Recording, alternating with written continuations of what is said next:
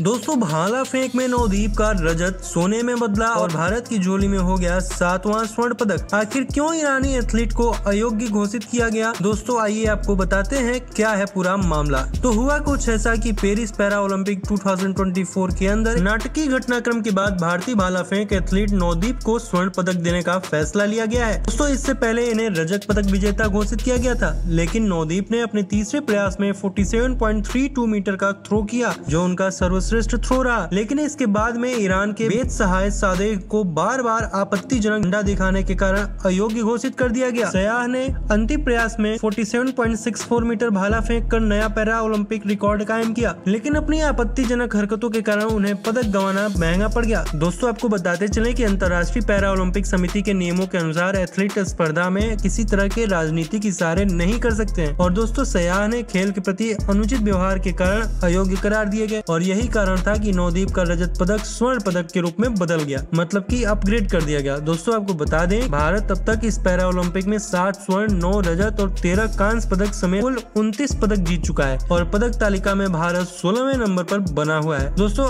आपको para Olympic में भारत का प्रदर्शन कैसा लगा, आप हमें कमेंट बॉक्स में ज़रूर बताएँ। तो चलिए दोस्तों, इस वीडियो में इतना ही। मिलते हैं आपसे अगली वीडियो में। Thank you so much for watching